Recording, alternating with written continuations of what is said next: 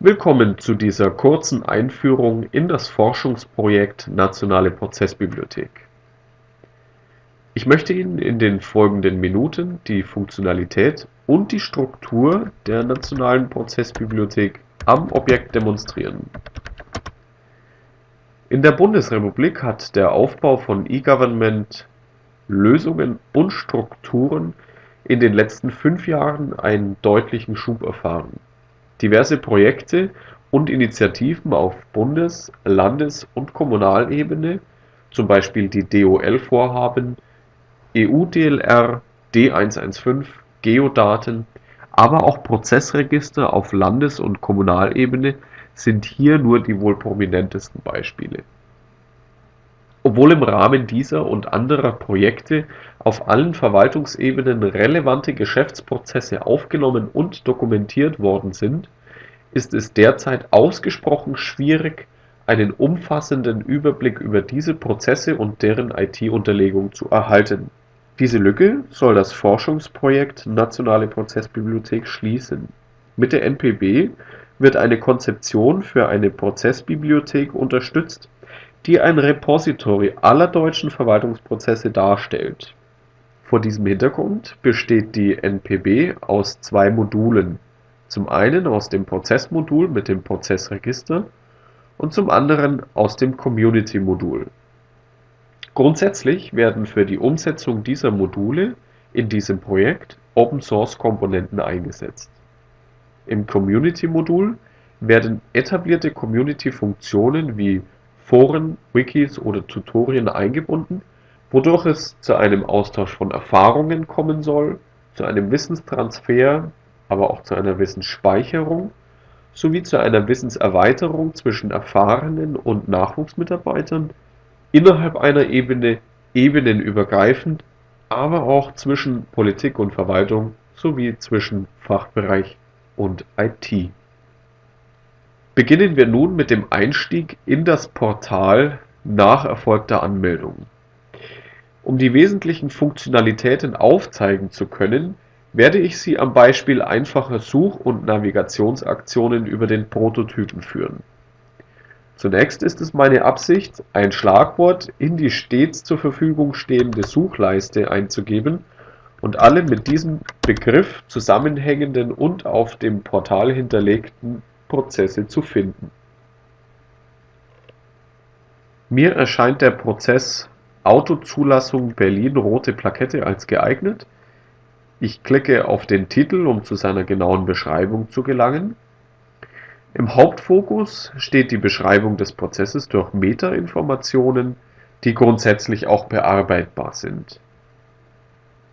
Am Ende der Seite findet sich ein visualisiertes Prozessmodell, das sich auch separat ansehen lässt. Ganz oben auf der rechten Seite haben wir verschiedene Aktionsmöglichkeiten. Wir können das Prozessmodell als XML herunterladen, die Quelldatei ist downloadbar, wir können die Bilddatei herunterladen und wir können das Prozessmodell als E-Mail versenden. Es öffnet sich also der E-Mail-Client. Darüber hinaus kann ich Kontakt zum Verantwortlichen aufnehmen, sofern dieser hinterlegt ist und ich kann mir das Prozessmodell zum Download vormerken im Sinne eines Warenkorbansatzes.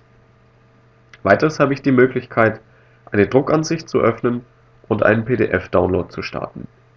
In unserem Fall werde ich zur erleichterten Auffindbarkeit im Nachhinein dieses Prozessmodell als Favorit markieren. Möchte ich im Anschluss weitere Prozesse betrachten, kann ich beispielsweise zum Prozessregister springen hier sind nun alle heraufgeladenen Prozesse hinterlegt. Um die Übersichtlichkeit zu erhöhen und die Auffindbarkeit abseits der Suchfunktionen zu erleichtern, besteht die Möglichkeit, hier rechts im Bild die Modelle zu filtern und die entsprechende Auswahl anzeigen zu lassen. Ich möchte das exemplarisch am Beispiel der Ebene der Verwaltungsorganisation durchführen und möchte mir nun alle Prozesse herausfiltern lassen, die die Ebene der Bundesverwaltungen betreffen. Gleich an erster Stelle der angezeigten gefilterten Prozesse steht Begründetheit prüfen, die Begründetheit eines Antrags wird geprüft. Sehen wir uns diesen Prozess einmal etwas genauer an. Wir sehen hier im Hauptfokus wieder die Metainformationen über den Prozess, beginnend mit dem Leica-Schlüssel und wir sehen am Ende auch wieder das visualisierte Prozessmodell. Bei diesem Prozess gibt es die Besonderheit, dass ich ihn selbst heraufgeladen habe, deswegen besteht für mich auch die Möglichkeit, wenn wir hier auf die rechte Bildhälfte blicken, den Prozess zu bearbeiten.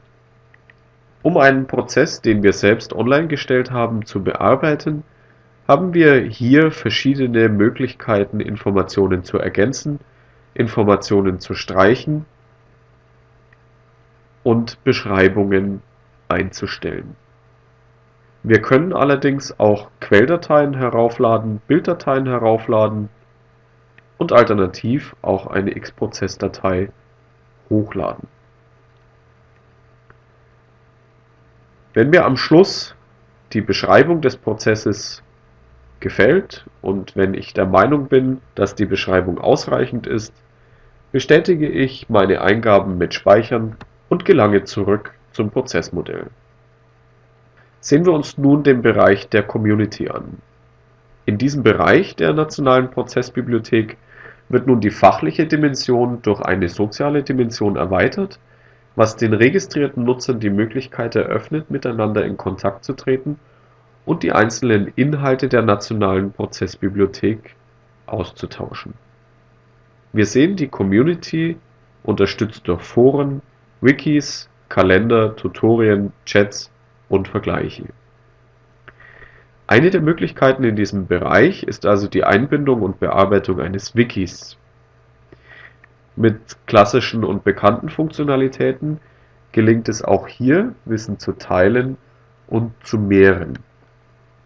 Als Beispiel möchte ich nun in das Suchfeld das Schlagwort Prozess eingeben und danach suchen. Es gibt nun eine Auswahl, die ich anklicken kann und deren Wiki-Eintrag ich mir nun ansehen kann. Grundsätzlich besteht auch die Möglichkeit, in bekannter Manier eine Wiki-Seite zu bearbeiten, woraufhin ich im Format zwischen Kreolisch und HTML wählen kann, was der klassischen Bearbeitbarkeit einer Wiki-Seite entspricht. Springen wir nun von der Community, in der sich im Idealfall viele Teilnehmer über deren Profile untereinander austauschen, zum eigenen Profil. Wir sehen unter dem Punkt eigenes Profil eigene Kontakte, ein Postfach, eigene Prozessmodelle, die ich online gestellt habe, eigene Prozessmodelle, die ich online gestellt habe, aber noch nicht veröffentlicht habe, Favoriten, meine besuchten Modelle, meine Downloads und meine Uploads.